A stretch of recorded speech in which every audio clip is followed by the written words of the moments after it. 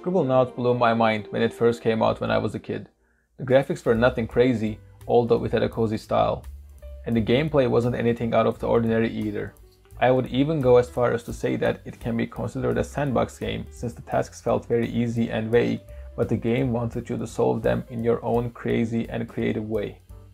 When in doubt, spawn a giant Cthulhu to just grab the target at hand and magically their problem will be solved.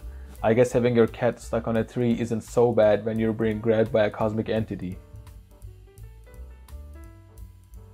If I want to be able to generate a 3D model of anything I want, I need access to some sort of an API, where I can make requests to it through Unity and get back the model in return. While researching on the internet, I came across Poly API by Google, which sounds like exactly what I want. So it's time to get started. Oh, what's going on? Oh. Okay, how about this? Oh, these are literally models tagged with the word API. Okay, let's try this again. Third time is the charm. This looks like it will do for the task at hand. Lucky for me, they even have a Unity runtime importer, which is literally what I want. The API wasn't really happy with me at first though, because as it turns out, you need to contact Sketchfab support to get access to their API first. Some APIs are publicly available for free. In fact, when you visit a website, you make a request to their server to serve you with whatever you're seeing on your screen oftentimes without requiring any sort of authentication. One classic example of a publicly available API is SWAPI, where you can get information about the people and places in the Star Wars universe. You can even make a request right here on the browser to get a feel for it. Unlike SWAPI, Sketchfab API requires that you sign up for their API to be able to use it, and so I did, and luckily they returned back to me with my credentials in a day. And turns out I am a Dumbo and I applied for the wrong kind of API authentication.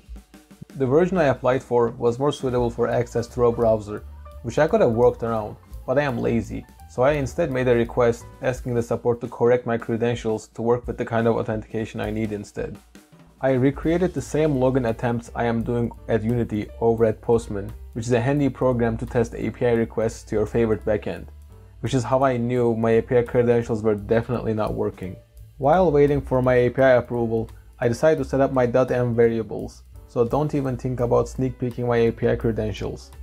I even found these handy dandy functions online to easily load env variables to a C-sharp function. Now as you can see, I can set my variables to anything I want and access them on Unity. I also yoinked some simple third-person controller script from ChatGPT, and honestly it worked better than I expected. I also spent way too much time making sure the input text blinked just right. The player can move freely, but as soon as they hit enter, they'll go into summoning mode. While it's on, I listen to the player's keyboard inputs through this beautiful piece of code.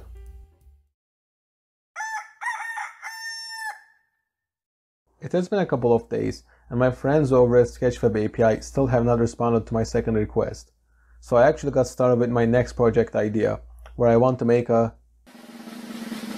sprinkler. Yep, you guessed it, literally a regular sprinkler in Unity. Now first I just need to figure out how to simulate fluids in 3D. Jason here actually shared a very handy slideshow. All I need to do is understand and implement this math in Unity. So subscribe if you want to see which slide I'll quit trying. Well, it's a brand new day and would you look at that, the goats over at Sketchfab actually updated my API keys to work with the Unity importer. As you can see, now when I make a request through Postman, I actually get back the tokens I need to start downloading models. I was even able to download this cute little fella as an initial test, which instantly ate me so my character was in his stomach, so that's great. Check out this blacksmith model I download. Oh shit, I slipped. He actually looks pretty cool up close though. You may have noticed the massive size difference between the models, and I am not interested in recreating Grounded, so I think it's time to shrink these bad boys. Just by looping through all the mesh filters on the models, and calculating the distance between the furthest vertices, I was able to get their sizes on each three dimensions. Now this is a 2D diagram, but the same idea applies in 3D, where I would find the furthest points on each dimension and just calculate the distances between them. Then all I had to do was to grab the longest dimension of an object, calculate the ratio that I need to shrink them by, and then apply that to the object's scale. For the next step, I want to be able to download models without having to copy their IDs from the Sketchfab website. First of all, how can I have an idea of what the model will look like without downloading it? Well, luckily, all these models also come with a huge thumbnail image. So I can get a rough idea about what I'll be instantiating in Unity if I go through with the model. Now it's time to combine this power with the ability to search for models through a keyword. The C-sharp wrapper for the API already supports this. So all I had to do was to call the function, but I only wanted to grab the first 10 thumbnails. Just as a test, I wanted to download all these images and display them in the Unity game.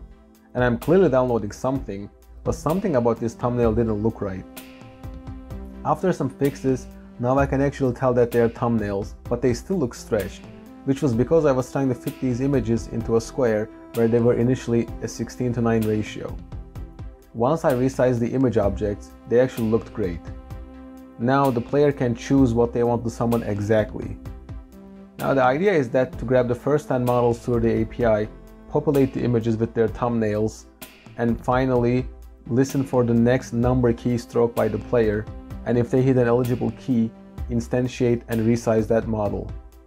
Here I search for the keyword dog and then choose the third thumbnail. And afterwards I search for the keyword cat and chose the fourth thumbnail, and they are both imported to my game in runtime. As you might have noticed, summoning everything on top of each other isn't very fun, so it was time to enable the player to summon anywhere they want. So I brought back our friend the look sphere from my previous video to indicate where is the player looking at. Now the player can choose a location and the summon will be instantiated there. After implementing the summoning at locations, I quickly realized not all models are created equal. Some models are centered around their head, some below their feet, and it's all over the place. To fix this problem, my idea was to measure the distance of the lowest point of the summon, and then move the summon up until that point where it will be equal to the summoning location. Now this issue sounds very simple, and it is, but it took me a ridiculous amount of time. I wasn't able to get the correct world position of the summon, and I was summon them far from the origin and still get values like this. Instead of just reading over my code once, I instead spent hours reading documentation and forum pages just to realize that I was able to access the locations of the mesh vertices before I moved the summon to the correct location. At the end, I was able to correctly summon any model on their feet. But then I realized the same issue exists on other axes as well, where they aren't centered. So what I wanted to do was to shift the objects in the other two axes so that they will be centered.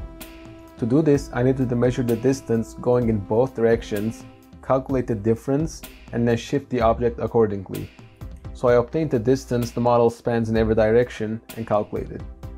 With those changes in place, you can see that this dog model that is actually very off-centered without the fixes can now be summoned perfectly centered.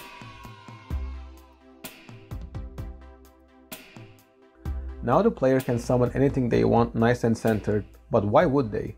It is time to give the player some reasons to summon objects with heavy inspiration from Scribblenauts. Why do people actually like this game?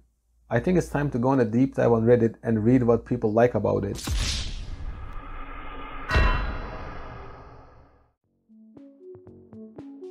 Here's what is on my mind so far. Here, you just you just gotta listen, okay? Here, here we go. The player will be able to summon an item with some adjectives such as big or red. I'll pick out these adjectives that I can work with modify the model accordingly, and then instantiate it. At the end, I'll store these adjectives and the words related to the summon on the summon game object. Those words will be used to check if a summon is suitable solution for the task at hand. In order to achieve this, I need to improve summoning by adding, obtaining the adjectives, and then creating some basic puzzles.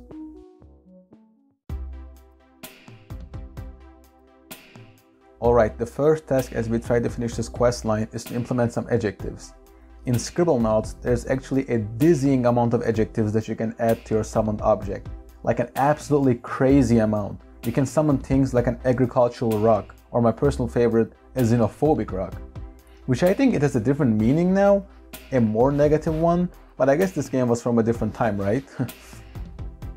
Before implementing a whole agricultural system, I think I should start simpler. So I'll go with size, bounciness, colors, and flying. The way it will work is there will be an input parser class that will receive whatever the player types into the game. and then it will send to the summon controller an attributes class.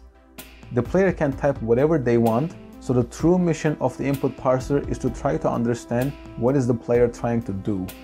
Now probably a large language model would be the perfect use for this case. But instead, I chose the simpler and cheaper solution where I have hard-coded hash sets of colors and words that are synonyms of big or small, and finally the synonyms of flying or bouncy. A hash set behaves like a dictionary where looking up if a certain key exists in it happens in O1 time as opposed to ON, similar to what you would find in a list. Without getting into the details, this just means that whether I had 50 or 5 million words in my hash set, it would take the computer the same amount of time to look up. So this is how the input function looks like at the end. I pop the rightmost word out, since that's our keyword, and then for the rest of the words we check one by one if they exist in any of the hash sets. Note that I am using the first appearance of a certain attribute, which means if you wanted to summon a blue red cow, you would get a blue cow. Here you can see what we can also do by combining adjectives such as a red cow and a big red cow. In order to have a fast or slow cow, you must first have a moving cow. So I wrote this basic movement code for the summons where they will just walk around in random directions and if they hit something they'll look away. The first trial of the basic movement code looks great. For a fast or slow cow, I just changed their movement and rotation speeds. Here's the first look at some of the fast and slow cows. Some of the fast summons were disappearing, so I wanted to examine what was going on. As a result, please enjoy this footage of some fast roaming cows.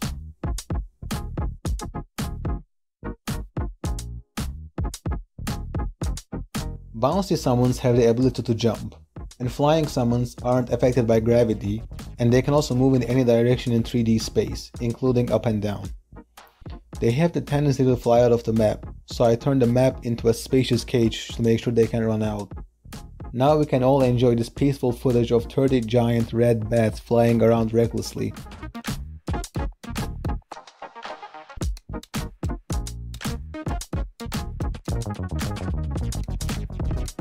Now looking back to the project diagram, the only piece that is missing is grabbing the related words with DataMuse API, which is the free API I found where I can obtain words related in context. Here's a quick demo on Postman. If I grab words related to cow, we can see milk or calves. Or if I search for dogs, we can find words like puppy, barking, and obedience. Now implementing this API in Unity was another task. The main issue is the only way I know how to make requests is through coroutines and you can't really return values from them unless you save them in a public variable. So instead as a better solution, I pass a reference to the summon object every time the coroutine is started.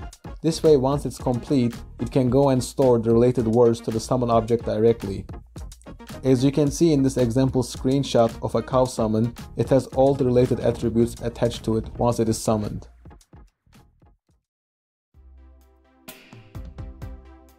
Okay, now I need you guys to bear with me for one last time here. As the final piece of the puzzle, it's time to add some puzzles to the game. I don't want to have a player summon something super specific. In Scribblenauts fashion, I wanted to allow creativity and fun. So the idea is to get the synonyms of all the related words of a summon and also get the synonyms of all the solution keywords and try to find some matches. Perhaps it won't be quite as interactive as Scribblenauts, but oh well. I think this will capture the essence of the task for now. Alright, this is the part where everything comes together. I have made some example puzzles and I'm excited to share it with you guys. Let's see the first one here. In bodies I dwell, support with might, when shaken or stirred, I'm hidden from sight. Oh, this must be a bone.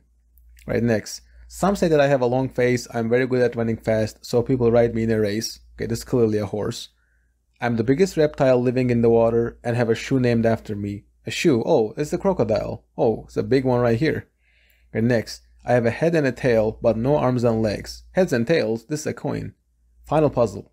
I am in the screen in your living room, but I don't belong to a window. A screen without a window? Ah, it's a television. Oh, what, what's going on? Looks like there's a final secret puzzle here.